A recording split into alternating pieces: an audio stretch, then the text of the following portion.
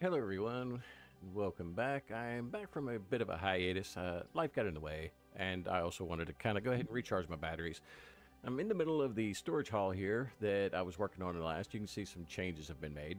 Now, before I cover any of the redstone changes, and I haven't really done any real design changes, in my last video I alluded to wanting to move the redstone further away from the player or just eliminate a lot of the ticking noises from the droppers and hoppers. In this particular instance, I've done that. However, that's just for um, anybody who finds them obnoxious and doesn't feel like using resource packs. Personally, I recommend using the resource packs so that you don't have the menu clicks and things of that nature. I have the game frozen right now. Let's go ahead and unfreeze this. So we'll do the tick freeze. Now I'm going to go into free cam mode, come down here so that you can see right now we're not hearing anything. I believe they should be moving along just about now to the thing. Yeah, they're coming up. And if I get this close, you can hear it. So, personally, I just I would rather use the resource packs, get that done. And now we don't have any of that obnoxious, annoying noise. And I don't need to move this, you know, 30, 40 blocks away from the player to achieve that end goal. All right, let's move over to the other design. Okay, here we are in the original first rough draft where I had a lot of water streams moving items around. They are coming over here. The shulkers are being loaded up and dumped off in the chest right here and the non-stackable processing vertically aligned right here. And while the vertically aligned, I did like the concept. It's just, it became a, bit clustered and convoluted with all of the water streams. Didn't much care for it. So I decided to revisit this and redo it. Along the way, I decided to go ahead and add a module that will actually process a moot point of boats, basically. Uh, let me get in here. Where's it at? Excuse me, sorry. What you, you can see what I have in this. So let's go ahead and put some containers on here. Where's the output? There it is. Right there and there. Uh, we know that boats can be dispensed into water.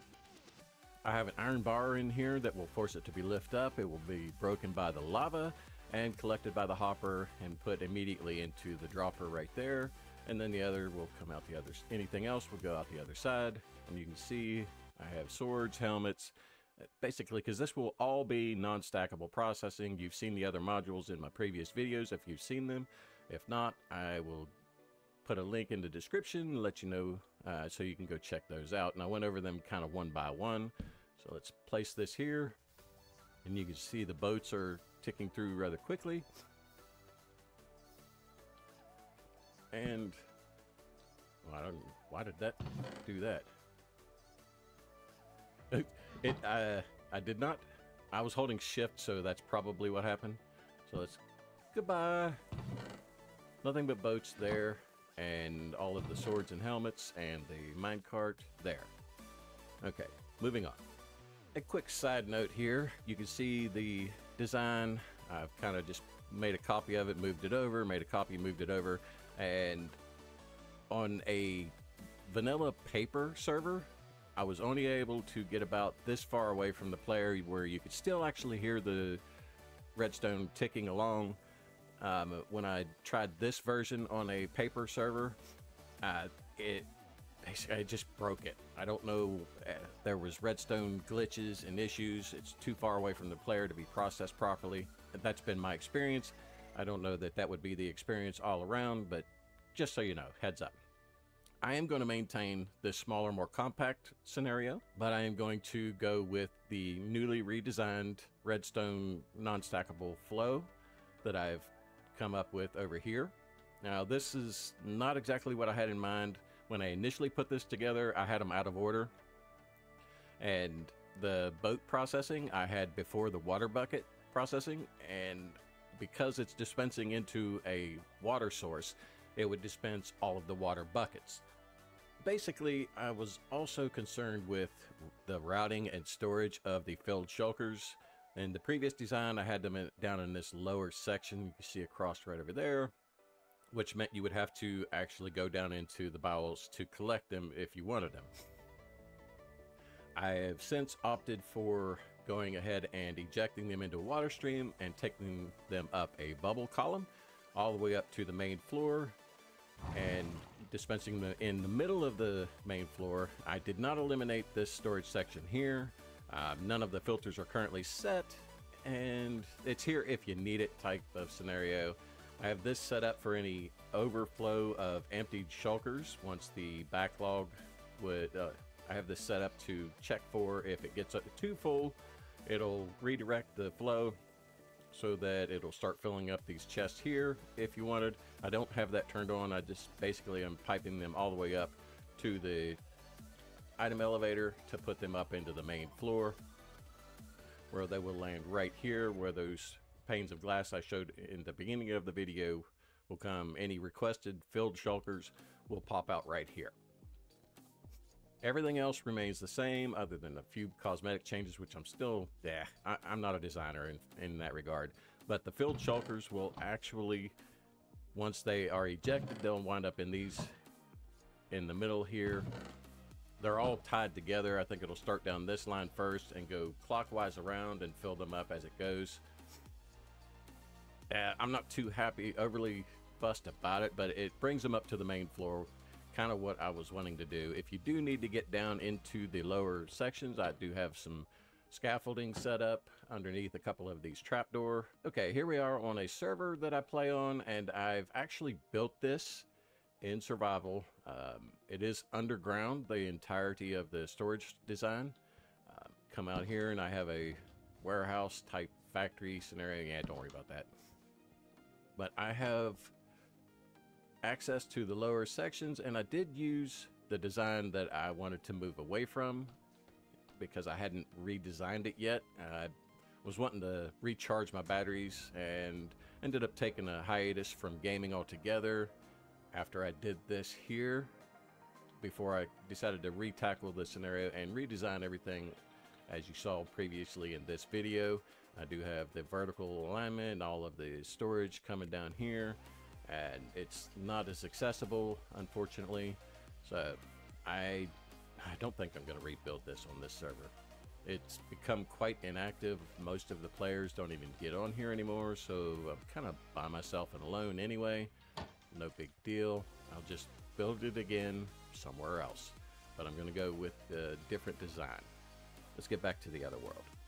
Okay, here we are back in the creative world. I I'm not going to take the time in this video to go over the processing and how everything is done. I did that in prior videos. I recommend you check those out. I gloss over a good, a great detail of what's going on. I'm uh, not overly technical in regard to how everything is done. I'll give you a bird's eye view of all of this here. I'm going to maybe shuffle this up a little bit, but I doubt it. I'm going to keep it pretty much at least in the order of processing as it's going.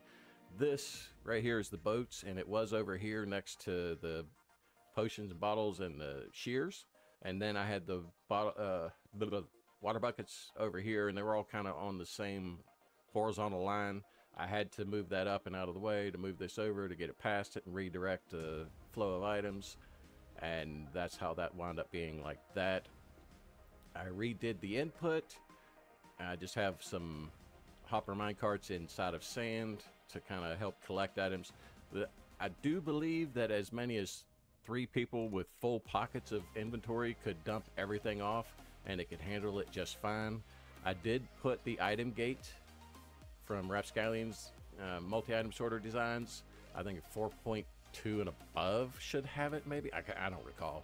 But it is right here and this is right prior to going into the armor separation to slow the items down so that it doesn't bottleneck this and break it. And I have one more thing out here. I have a schematic loaded. Let's see here. Let's turn it on. I had considered adding this. I found this from Ray's Works, a video more than a year and a half, two years ago, I believe, somewhere abouts. And this will allow me to actually separate independent pieces of armor. So if I want just leggings to wind up in a shulker box, helmets, you get the idea. It is contingent on having mobs. There's an iron golem involved and a skeleton needs to be trapped. I don't know that I want to do that for a storage hall design. I may try to incorporate that. If you'd like to see that, let me know in the comments down below. If you would like a copy of this world or schematics related to these, let me know in the comments down below. I'm not going to give them away until I get at minimum 20 likes on the video, as I mentioned in the descriptions of the previous two videos regarding my storage hall designs. So if you feel like it, go ahead and check those out. Drop a like if you like it. That's going to be all for this video, and we will see you in the next one.